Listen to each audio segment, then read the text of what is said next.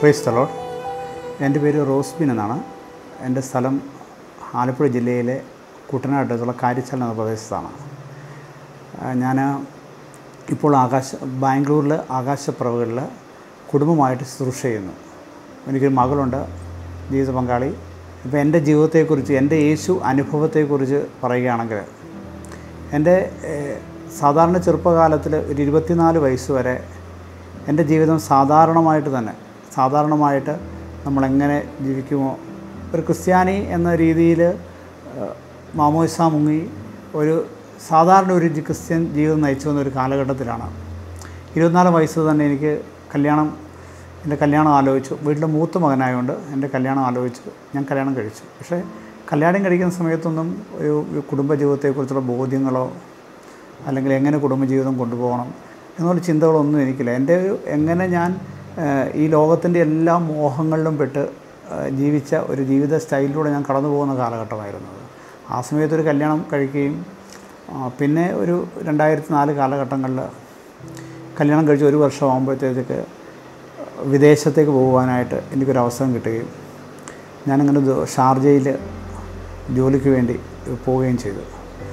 എന്റെ പേര് ആൻസി റോസ്മിനാണ് എന്റെ വീട് ആലപ്പുഴ ജില്ലയിൽ കരുവാറ്റ എന്നൊരു സ്ഥലത്താണ്. എന്റെ ചാച്ചനും അമ്മച്ചിയും കൃഷിപ്പണി അങ്ങനെയുള്ള കാര്യങ്ങളായിട്ടൊക്കെ ആണ് ഇത് ചെയ്തത്. ഞാൻ കരുവാറ്റ സ്കൂളിൽ പഠിച്ചു. അത് കഴിഞ്ഞിട്ട് പിന്നെ അവിടെ നിന്ന് നങ്ങ്യാറോരങ്ങള സ്കൂൾ എന്ന് പറഞ്ഞൊരു സ്കൂളിലാണ് എന്റെ ടെൻത്ത് ഇത് കഴിഞ്ഞത്. അത് കഴിഞ്ഞിട്ട് പി പി യു സി കഴിഞ്ഞു. അതിനുശേഷം എന്നെ നേഴ്സിങ്ങിന് വേണ്ടി വിട്ടു. നേഴ്സിംഗ് പഠനം കഴിഞ്ഞു. നേഴ്സിംഗ് പഠനം കഴിഞ്ഞ് കഴിഞ്ഞിട്ട് ഞാൻ ഒരു എട്ട് ഒമ്പത് വർഷത്തോളം ഞാൻ ബീഹാറിലാണ് നേഴ്സിംഗ് ജോലി ചെയ്തത്. അവിടെ എനിക്ക് നല്ലൊരു എക്സ്പീരിയൻസ് ആയിരുന്നു. ഒത്തിരി പഠിക്കാൻ പറ്റി ഒത്തിരി കാര്യങ്ങൾ എല്ലാം ചെയ്യാൻ പറ്റി. അങ്ങനെ നേഴ്സിംഗ് പഠനം കഴിഞ്ഞു. അങ്ങനെ ഞാൻ രണ്ടായിരത്തി മൂന്നിലാണ് എന്റെ വിവാഹം നടക്കുന്നത്. വിവാഹത്തിനായിട്ട് ഞാൻ ലീവിന് നാട്ടിൽ വരുന്നു. അങ്ങനെ എന്റെ വിവാഹം എല്ലാം ആലോചിച്ച് വിവാഹം നടത്തുന്നു. എന്റെ ജീവിത പങ്കാളിയുടെ പേര് റോസ്മിൻ എന്നാണ്. കാരിച്ചാലാണ് വീട്. ഞങ്ങൾ അധികം ദൂരമില്ല. അരമണിക്കൂർ ദൂരമേ ഉള്ളൂ ഞങ്ങളുടെ രണ്ടുപേരുടെയും വീട് തമ്മിൽ അങ്ങനെ രണ്ടായിരത്തി മൂന്നിൽ ഞങ്ങളുടെ വിവാഹം കഴിഞ്ഞു. രണ്ടായിരത്തി നാലിൽ ഞങ്ങൾക്കൊരു മകളുണ്ടായി. മകൾ പേര് റിച്ച എന്നാണ്. ഇപ്പോൾ അവൾ പ്ലസ് ടു പഠിക്കുന്നു ഈ വർഷം. പിന്നെ അങ്ങനെ ഞങ്ങളുടെ ജീവിതം ഇങ്ങനെ മുമ്പോട്ട് പോയിക്കൊണ്ടിരുന്നു. അങ്ങനെ രണ്ടായിരത്തി നാല് രണ്ടായിരത്തി അഞ്ച് ഫസ്റ്റോടുകൂടി അച്ഛൻ ഗൾഫിന് പോവുകയാണ്. അതുവരെ എന്ന് പറഞ്ഞു കഴിഞ്ഞാൽ ഒരു സാധാ ക്രിസ്ത്യൻ ആൾക്കാർ ജീവിക്കുന്നു. അങ്ങനെ ഒരു ജീവിതമായിരുന്നു ഞങ്ങളുടെ ഞായറാഴ്ച പള്ളിയിൽ പോകുന്നു. കുടുംബ പ്രാർത്ഥന. എന്ന് വെച്ചാൽ കുടുംബ പ്രാർത്ഥന എന്ന് പറഞ്ഞു കഴിഞ്ഞാൽ നമ്മൾ സാധാരണ എല്ലാവരും വീട്ടിൽ എങ്ങനെ ചെല്ലുന്നു? അതൊരു കടമ കണക്ക് അത്രയും ചെല്ലി തീർക്കുന്നു. അങ്ങനെയൊക്കെയായിരുന്നു പിന്നെ അച്ഛൻ ഗൾഫിൽ പോയി. ആ സമയത്തും വലിയ പ്രാർത്ഥനയും കാര്യങ്ങളും അങ്ങനെയൊന്നും ഇല്ലായിരുന്നു. തികച്ചും നാട്ടിൽ നിന്ന് ഒരു കുടുംബത്തിൽ നിന്ന് ഒരു എസ്കേപ്പ് എന്ന രീതിയിലാണ് എനിക്ക് ഷാർജയിലേക്ക് പോകാൻ തോന്നിയത്. എന്ന് വെച്ചാൽ അവിടെ എന്റെ ജീവിതം ഫ്രീ ആയി. കുറച്ചുകൂടെയൊക്കെ അടിച്ചു പൊളിച്ച് ജീവിക്കാം എന്നൊരു ചിന്താഗതിയായിരുന്നു എനിക്കുള്ളത് ഷാർജയിലേക്ക് പോകുമ്പോൾ. അപ്പോൾ എല്ലാവരും പറഞ്ഞു റോസ് ബിൻ രക്ഷപ്പെട്ടു. അല്ലെങ്കിൽ സാധാരണമായിട്ട് നമ്മൾ ഗൾഫിലേക്ക് പോകുമ്പോൾ വീടുകളിൽ പറയുന്നത് തൊട്ട് എല്ലാവരും ഗൾഫിൽ പോയാൽ രക്ഷപ്പെട്ടു എന്നൊരു ചിന്ത. എനിക്ക് അത്യാവശ്യം ഫയർ ആൻഡ് സേഫ്റ്റി ആ ജോലിയല്ല ഞാൻ പോയത്. അപ്പോൾ എനിക്ക് അത്യാവശ്യം ശമ്പളമൊക്കെ ഉണ്ടായിരുന്നു. അപ്പം അങ്ങനെ ജോലി ചെയ്തു രക്ഷപ്പെട്ടു എന്നൊരു ചിന്താഗതിയിൽ പോയി. പക്ഷേ യഥാർത്ഥത്തിൽ ഞാൻ രക്ഷപ്പെട്ടത് ആ മരുഭൂമിയിൽ വെച്ചാണ്. നിയമാവർത്തന പുസ്തകത്തിൽ മോശയുടെ സങ്കീർത്തനം എന്നൊരു പുസ്തകമുണ്ട് അതിൽ വചനം ഇപ്രകാരം പറയുന്നുണ്ട്. ശൂന്യത ഊരിയിടുന്ന മണലാരണ്യത്തിൽ മരുഭൂമിയിൽ ശൂന്യത ഊരിയിടുന്ന മരുഭൂമിയിൽ അവനെ കണ്ടെത്തി. അവനെ ഞാൻ വാരി പുണർന്ന് എന്നെ കണ്ണിലുണിയായി അവനെ ഞാൻ കണ്ണിലുണിയായി സംരക്ഷിച്ചു എന്ന് പറയുന്നുണ്ട്. അപ്പോൾ ശരിക്കും എന്റെ ജീവിതം മാറ്റിമറിച്ചത് ആ മരുഭൂമിയാണ് ഷാർജയിലാണ്. ഞാനങ്ങനെ സാധാരണമായി അവിടെ ചെന്ന് കഴിഞ്ഞു എന്റെ പഴയ ജീവിതം തുടർന്നു. ജോലിക്ക് പോകുന്നു മദ്യപിക്കുന്നു. അത് സാധാരണമായിട്ട് നമ്മൾ എങ്ങനെ ജീവിക്കും ഒരു സാധാരണ മനുഷ്യൻ എങ്ങനെ ജീവിക്കുന്നു അതേ രീതിയിൽ പോയിക്കൊണ്ടിരുന്ന സമയത്താണ് പള്ളിയിലൊക്കെ പോകും. പക്ഷേ അവിചാരിതമായിട്ട് എന്നോട് അവിടുത്തെ അവിടുത്തെയുള്ള ജീസസ് യൂത്തിലെ കുറച്ച് മനുഷ്യർ എന്നെ ബന്ധപ്പെടുവാനും എന്റെ എൻ- ഞാൻ താമസിക്കുന്ന അക്കൗണ്ട്സ് വരുവാൻ നിരന്തരമായിട്ട് ഇങ്ങനെ പ്രാർത്ഥനയ്ക്ക് വരുവാനായിട്ട് എന്നോട് പറയുകയും ഞാൻ അവരിങ്ങനെ മാഗസിനുകളെ കൊണ്ട് തരികയും പല പല പ്രാവശ്യം മുതൽ ഞാനങ്ങനെ അതിന് പോകാൻ പോകാൻ എനിക്ക് തോന്നിയിട്ടില്ല. പക്ഷേ എങ്ങനെയോ ഒരു ദിവസം അവരെന്നെ കുർബാന കഴിഞ്ഞ് ഷാർജ പള്ളിയിൽ നടക്കുന്ന ഒരു ചെറിയ പ്രയർ മീറ്റിങ്ങിൽ ഒരു മണിക്കൂർ നടക്കുന്ന ഒരു പ്രയർ മീറ്റിങ്ങിൽ വെച്ച് അവരെന്നോട് ഇരിക്കാൻ പറഞ്ഞു. ഞാൻ നിവർത്തിയില്ലാതെ അവിടെ പോയി ഏറ്റവും പുറകത്തെ ബെഞ്ചിൽ എനിക്കിന്ന് ഓർമ്മയുണ്ട്. അത് രണ്ടായിരത്തി അഞ്ചിന്റെ രണ്ടായിരത്തി അഞ്ച് അവസാന കാലഘട്ടങ്ങളിലാണ് ഞാൻ അവിടെ പോയി ആ ബെഞ്ചിൽ ഇങ്ങനെ പുറകിലിരിക്കുമ്പോൾ ആദ്യമൊക്കെ എനിക്ക് ഭയങ്കര മടുപ്പ് തോന്നി. ശരിക്കും ഞാനിങ്ങനെ അവിടെ വേദിയിൽ നടക്കുന്ന പ്രസംഗം അല്ലെങ്കിൽ ഒരു വചന പ്രഘോഷണം ഇങ്ങനെ നടന്ന് കൊണ്ടിരിക്കുന്ന സമയത്ത് ഒരു വചനം ഇങ്ങനെ ഇടുത്തി പോലെ എന്ത് പറയുന്നത് ഈ വചനം എന്നിലേക്ക് ഇങ്ങനെ തളച്ച് കയറ തുളച്ച് കയറുന്നതായിട്ട് എനിക്ക് തോന്നി. ആ വചനം ഇപ്രകാരമാണ് ഒരിക്കലും ഞാൻ മറക്കില്ല. റോമ പന്ത്രണ്ട് രണ്ട് വചനം ഇപ്രകാരം പറയുന്നത് നിങ്ങൾ ഈ ലോകത്തിന് അനുരൂപരാകരുത് മറിച്ച് നിങ്ങളുടെ മനസ്സിന്റെ നവീകരണം വഴി രൂപാന്തരപ്പെടുവിൻ. അപ്പോൾ ദൈവഹിതം എന്തെന്നും നല്ലതും പ്രീതിജനവുമായി തിരിച്ചറിയുവാൻ നിങ്ങൾക്ക് സാധിക്കും. ശരിക്കും ലോകത്തിന്റെ എല്ലാ മോഹങ്ങളിലും പെട്ട് ജീവിച്ചിരുന്ന ഒരു സമയത്ത് ഈശോ എന്നോട് വ്യക്തിപരമായിട്ട് പറയുന്നു നിങ്ങൾ അല്ലെങ്കിൽ റോസ്ബിനെ നീ ലോകത്തിന് അനുരൂപനായി ജീവിക്കരുത്. നിന്റെ മനസ്സിന്റെ നവീകരണം വഴി രൂപാന്തരപ്പെടുമ്പോൾ ദൈവ ദൈവഹിതം എന്താണെന്ന് നീ തിരിച്ചറിയും എന്നൊരു വചനം. അതെനിക്ക് ശരിക്കും ആ ഒറ്റ വചനം എന്റെ ഹൃദയത്തിലേക്ക് ഇങ്ങനെ തുളച്ചു കയറിയപ്പോൾ എന്ത് സംഭവിച്ചു എന്ന് എനിക്ക് ഇന്നും എനിക്ക് ഒരു അറിയില്ല. പക്ഷേ അന്ന് വൈകിട്ട് ഞാൻ എന്റെ താമസ സ്ഥലത്തേക്ക് തിരിച്ചു പോകുമ്പോൾ ഞാൻ കുറേ ചിന്തകളുമായിട്ടൊക്കെയാണ് പോകുന്നത്. എന്റെ ജീവിതം ആ നിമിഷം വരെ ആ ഒരു പ്രെയർ മീറ്റിങ്ങിൽ ആ പങ്കെടുക്കുന്ന ഞാൻ ഇരിക്കുന്ന ആ മനുഷ്യനെ പോലെയല്ല. ഞാനൊരു പുതിയ മനുഷ്യനായിട്ടാണ് ഞാൻ എന്റെ താമസ സ്ഥലത്തേക്ക് തിരിച്ചു പോകുന്നത്. അന്നൊരു വൈകുന്നേരം എനിക്കിപ്പോഴും നല്ല ഓർമ്മയുണ്ട്. അന്നൊരു വൈകുന്നേരം ഞാൻ എന്റെ അക്കോമഡേഷനിലേക്ക് പ്രാർത്ഥനയിൽ തിരിച്ചു നിന്നിട്ട് ഞാൻ എന്റെ കയ്യിലുണ്ടായിരുന്ന എന്റെ ഈശോയ്ക്ക് ഇഷ്ടപ്പെടാത്തത് എന്തെല്ലാം ഉണ്ടോ അതെല്ലാം എടുത്ത് ഒരു ഒരു കവർ ഒരു ബാഗുണ്ട് ഒരു ബാഗിന്റെ അകത്ത് കെട്ട് എല്ലാം എടുത്ത് പാക്ക് ചെയ്തിട്ട് ഞാൻ എന്റെ താമസ സ്ഥലത്ത് കുറച്ച് ദൂരെ എന്റെ കൂടെ ഒരു സുഹൃത്തുമുണ്ട്. അവിടെ പോയി ഒരു ഒരു മരുഭൂമി ഇങ്ങനെ പരന്ന് കിടക്കുന്ന സ്ഥലമുണ്ട്. അവിടെ പോയിട്ട് മരുഭൂമിയിൽ പോയിട്ട് എന്റെ കുഴി കുഴിച്ചു. ഞാൻ എന്റെ കുഴി കുഴിച്ചിട്ട് എന്റെ എന്നെ എന്തെല്ലാം സാധനങ്ങൾ ഈശോയിൽ ജീവിക്കാൻ തടസ്സമായിരുന്നു അതെല്ലാം കുഴിച്ചു മൂടിയിട്ട് ഞാനിവിടെ മുട്ടയിൽ നിന്നുകൊണ്ട് ഇങ്ങനെ കൈകൾ ഉയർത്തി പറഞ്ഞു ഈശോയെ ഇന്നു മുതൽ റോസ് ഈശോയ്ക്ക് വേണ്ടി ജീവിക്കും. ഇതുവരെ എന്റെ ജീവിതത്തിൽ നടന്ന ഒന്നും എനിക്കറിയില്ല. പക്ഷേ ഇന്ന് എനിക്കൊരു പുതിയ തിരിച്ചറിവ് കിട്ടി. നീയാണ് ഏക ദൈവം. എന്റെ ദൈവത്തെ ഇത്രയും നാളും സീരിയസ് ആയിട്ട് ഞാൻ എടുത്തിരുന്നില്ല.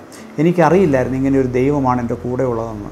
ആ ഒരു തീരുമാനം. അത് ആ തീരുമാനമെടുത്ത് അങ്ങനെ ഒരു രണ്ടായിരത്തി പന്ത്രണ്ട് കാലഘട്ടം വരെ ഷാർജയിൽ ജീസസ് യൂത്തിന്റെ ഭാഗമായിട്ട് വിവിധ മിനിസ്ട്രികൾ അല്ലെങ്കിൽ വിവിധ കാല പിന്നെ ഒരു ഓട്ടമായിരുന്നു. പിന്നെ എനിക്ക് ഈ കിട്ടിയ ദൈവാനുഭവമൊക്കെ ഞാൻ ഇന്നും വൈകിട്ട് ഫോണിലൂടെ എന്റെ ജീവിത പങ്കാളിയോട് വിളിച്ചു പറയും എനിക്ക് ഇങ്ങനെയൊക്കെ സംഭവിച്ചു എന്ത് മാറ്റമാണെന്ന് എനിക്കറിയില്ല. ഈശോ നമ്മളെ ഇത്രമാത്രം സ്നേഹിക്കുന്നു. നമ്മൾ കണ്ട ഈശോയല്ല. നമ്മുടെ ദൈവം ഇത്രമാത്രം ശക്തമാണ്. എനിക്കത് ഭയങ്കരമായിട്ട് എനിക്ക് അനുഭവപ്പെട്ടു. അത് ഞാൻ എന്റെ ജീവിത പങ്കാളിയോട് ഇങ്ങനെ എപ്പോഴും ഷെയർ ചെയ്തുകൊണ്ട് ഗൾഫിൽ ചെന്നതിന് ശേഷം അവിടെ ചെന്ന് കുറച്ച് നാൾ കഴിഞ്ഞ് കഴിഞ്ഞപ്പം ജീസസ് യൂത്തുമായിട്ടൊക്കെ ഇടപെട്ടു. അങ്ങനെ ജീസസ് യൂത്തിലൊക്കെ പോയതിന് ശേഷം ഫുള്ള് ഇതായി. പിന്നെ ഫുള്ള് പ്രാർത്ഥനാ ജീവിതത്തിലേക്ക് വന്നു.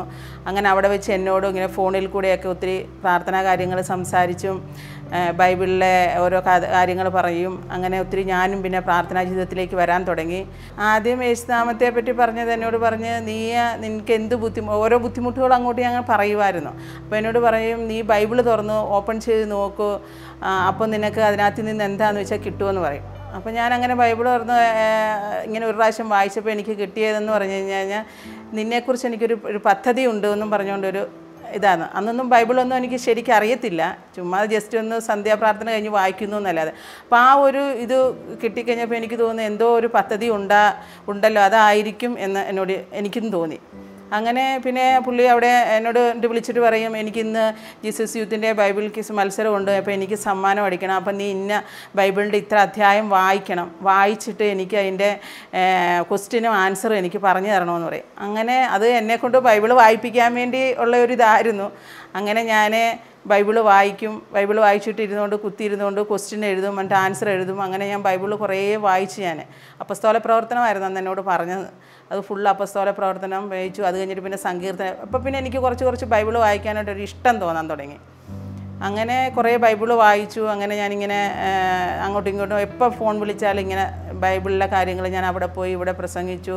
അവിടെ ധ്യാനത്തിന് പോയി എനിക്ക് ഒത്തിരി ഇഷ്ടമായി. അങ്ങനെ അങ്ങനെ ഒത്തിരി മാറ്റങ്ങൾ ഞങ്ങളുടെ ജീവിതത്തിൽ വരാൻ തുടങ്ങി. അപ്പം എനിക്കും പ്രാർത്ഥനയോടും കുർബാനയോടും ഒക്കെ ഇതായി. അപ്പം പുള്ളി ഗൾഫിൽ പോകുന്ന സമയത്ത് ഞങ്ങൾ നാട്ടിലായിരുന്നു. അത് കഴിഞ്ഞ് കഴിഞ്ഞിട്ട് ഞങ്ങൾ തിരിച്ചു ബാംഗ്ലൂരിൽ മോടെ വിദ്യാഭ്യാസത്തിനായിട്ട് ഞങ്ങൾ ബാംഗ്ലൂരിൽ വന്നു. ഈ ശരിക്കും എനിക്ക് അനുഭവം ഈ വചനം എന്റെ ശരീരത്തിലേക്ക് ഇങ്ങനെ തുളച്ച് കയറുകയായിരുന്നു തുളച്ച് കയറിയിട്ട് എന്നിലുള്ള അശുദ്ധിയും എന്റെ ജഡികതയും ഒക്കെ ഈശോ ഇങ്ങനെ എടു കഴുകിക്കളയുമായിരുന്നു കഴുകിക്കളഞ്ഞിട്ട് പിന്നെ ഞാൻ എഴുതിക്കുന്ന എനിക്ക് എനിക്കൊരു ഒരു പുതിയ മനുഷ്യനാട്ടോ. എന്റെ അതുവരെ ഉണ്ടായിരുന്നല്ല ഞാൻ ഒത്തിരി ഒന്നും ഒത്തിരി ദിവസമൊന്നും എന്റെ ഒരു പെട്ടെന്നായിരുന്നു. ഈ സാവൂളിനെ ഈശോ ഇങ്ങനെ സാവൂൾ കുതിരപ്പുറത്ത് ഇങ്ങനെ പോകുന്നപ്പോൾ സാവൂളിനെ അടിച്ച് താഴെയിട്ടില്ല. അടിച്ച് താഴെയിട്ട് എഴുന്നേറ്റ് വരുന്ന സാവൂൾ പുതിയ മനുഷ്യനാണ്. എന്നിട്ട് ഈ റോമ പന്ത്രണ്ട് രണ്ടിലെ ഈ ഒരു വചനം ഈ ഒരു വചനം എന്റെ ശരീരത്തോട് ഇങ്ങനെ എന്താ ഇടുത്തി പോലെ ഇങ്ങനെ തുളച്ച് കയറുമായിരുന്നു പിന്നെ എനിക്ക് ഭയങ്കര സന്തോഷവും ആനന്ദവും ഒക്കെ ആയിരുന്നു. എനിക്കൊരു പുതിയ എന്താ പറയുക ഒരു പുതിയ ജീവിതം എനിക്ക് കിട്ടിയിട്ടുണ്ടായിരുന്നു. അപ്പം ഞാൻ പിന്നെ ഒന്നും തിരിഞ്ഞു നോക്കേണ്ടി വന്നില്ല. അന്ന് മുതൽ അന്നെടുത്ത ഒരു തീരുമാനം ഈ നിമിഷം വരെ ആ ഒരു നിൽക്കുവാണ്ട് എനിക്ക് പരസ്യം നിൽക്കുവാണ്ട് സാധിക്കുന്നുണ്ടെന്നുള്ളതാണ്. അപ്പോൾ അന്നെടുത്ത തീരുമാനം ഈശോയെ നിനക്ക് വേണ്ടി ഞാൻ ജീവിക്കും. ഇന്ന് പതിനേഴ് വർഷങ്ങളായി. ഇന്ന് പതിനേഴ് വർഷങ്ങൾ ആയിരിക്കും ഇന്ന് ശുശ്രൂഷ മേഖലയിലായിരിക്കുമ്പോൾ ആ കുടുംബവുമായി എന്റെ ആഗ്രഹം അതാണ്. അന്ന് കുടുംബമായിട്ട് ചേർന്ന് ഈശോയ്ക്ക് വേണ്ടി ജീവിക്കണം. കുടുംബമായിട്ട് ചേർന്ന് ഒരു മിഷണറി ആകണം. കുടുംബം മിഷൻ കുടുംബമാകണം. മിഷണറി ആകണം എന്നൊരു ചിന്തയാണ്. അപ്പോൾ ആ കഴിഞ്ഞ ഏഴ് വർഷക്കാലം ഷാർജയിലായിരുന്ന സമയത്ത് പിന്നെ ഒരു ഓട്ടമായിരുന്നു ഈശോയ്ക്ക് വേണ്ടി എന്തൊക്കെ എന്നെ കൊണ്ട് ചെയ്യാൻ പറ്റുമോ? അവിടെ കൂട്ടുകാരോട് ചേർന്ന് ഷാർജയിൽ എന്തൊക്കെ ചെയ്യാൻ പറ്റുമോ? എന്റെ ജോലി തിരക്ക് കഴിഞ്ഞുള്ള സമയങ്ങളെല്ലാം പൂർണമായിട്ട് ശുശ്രൂഷയ്ക്ക് വേണ്ടി. അവിടെ ഔട്ട്റീച്ചുകൾ ക്യാമ്പുകളിലൊക്കെ ഔട്ട്റീച്ച് പോവുക ലേബർ ക്യാമ്പുകളിൽ ഔട്ട്റീച്ച് പോവുക ജെറീക്കോ പ്രാർത്ഥനകൾ ജെറീക്കോ പ്രാർത്ഥനകൾ ഷാർജയിലും അജ്മാനും ഒക്കെ ഇങ്ങനെ വണ്ടിയിൽ ചുഴന്ന് പ്രാർത്ഥിക്കുക പിന്നെ അറബികളുടെയൊക്കെ വീടിന്റെ മുൻപിൽ പോയി ഇങ്ങനെ രാത്രിയിലൊക്കെ ഇന്ന് ജവമാലി ചൊല്ലി പ്രാർത്ഥിക്കും.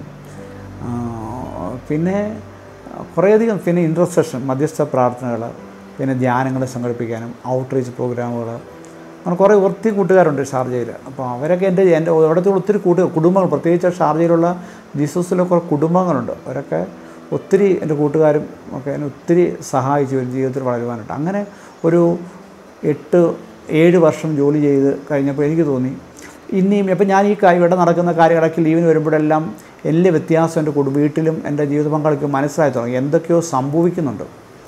എന്തൊക്കെയോ സംഭവിക്കുന്നതൊക്കെ മനസ്സിലാക്കി കഴിഞ്ഞപ്പോൾ അവരും ആ രീതിയിൽ ആ ഒരു എന്റെ ജീവിതശൈലിയോട് പൊരുത്തപ്പെടുവാനായിട്ട് എന്റെ ജീവിത പങ്കാളിയും മകളും എന്റെ ജീവിതശൈലിയോട് പൊരുത്തപ്പെടുവാനായിട്ട് അവർക്കും മനസ്സിലായി.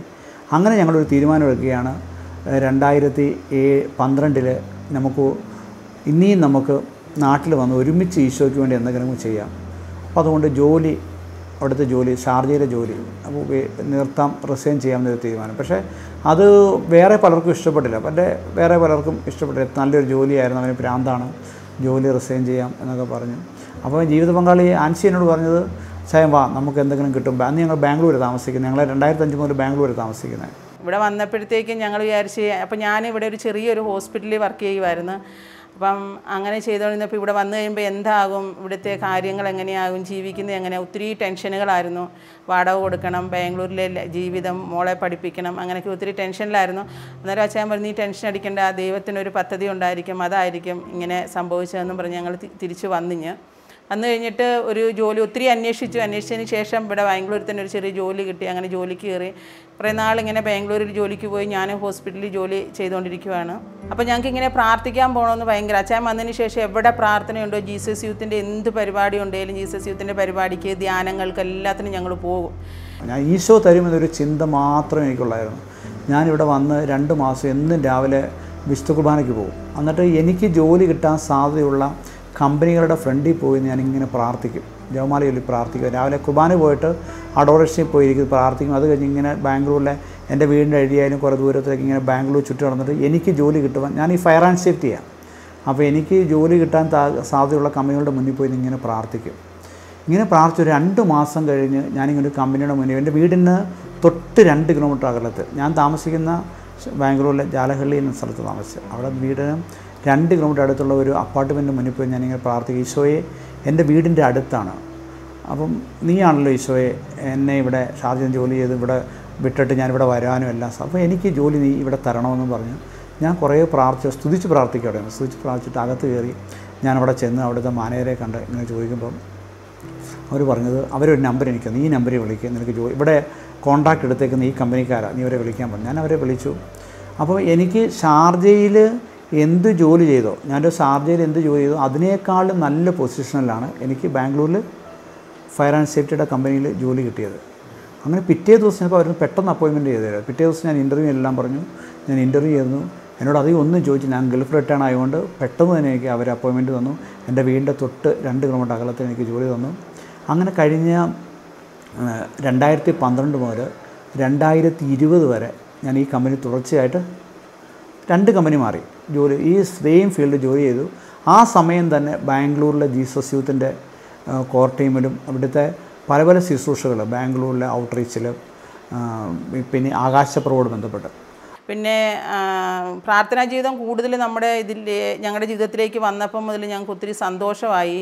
പിന്നെ എന്ന് വെച്ചാൽ എന്റെ ഒത്തിരി പറയാൻ മേല അതേ കണക്കത്തിൽ ഒത്തിരി സന്തോഷം ഞങ്ങളുടെ കുടുംബത്തിലേക്ക് വന്നു. ഞങ്ങൾക്ക് ഒത്തിരി സന്തോഷമായി ഞങ്ങൾക്ക് അങ്ങനെ ഞങ്ങൾ നല്ല നല്ല രീതിയിൽ ഇങ്ങനെ കുടുംബജീവിതം പൊയ്ക്കൊണ്ടിരിക്കുകയായിരുന്നു അങ്ങനെ ഇരുന്നപ്പോഴത്തേക്കാണ് ഒരു ദിവസം ഇവിടെ ബാംഗ്ലൂരിലെ ആകാശപ്പറവുകളുടെ ആശ്രമമുണ്ട്.